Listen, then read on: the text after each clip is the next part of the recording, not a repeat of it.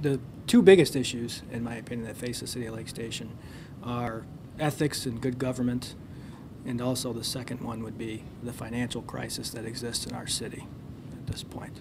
Uh, regarding ethics, I have signed the Shared Ethics Advisory Commission pledge, uh, in which I've agreed or pledged to provide formal ethics training to all city employees, and that training should be continuous and regular. And in addition to the city employees, I think it should be offered and taken by all city officials. Given the history of what's transpired in Lake Station, I think that that should be mandatory at this point in time. So uh, the ethics training is the biggest issue, and that's the first thing that's going to happen uh, in the city of Lake Station if I'm elected as mayor of Lake Station.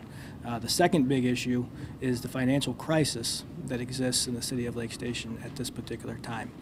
As of December 31st, 2013, our general fund was overdrawn by over $2 million. A couple other of our budgeted funds were also overdrawn uh, with a total amount in excess of, I believe, over $2.3 million we are overdrawn.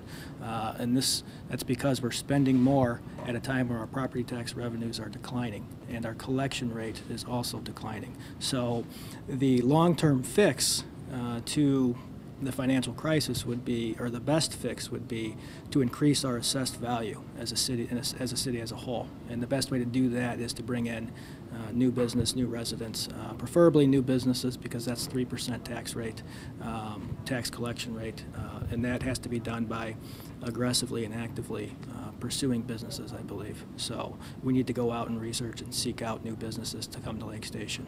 That's the long-term solution. Um, the short-term solution would be being a lot more financially responsible, making sure that we eliminate all careless spending and that we concentrate and we're transparent with where every dollar of our taxpayer money is going.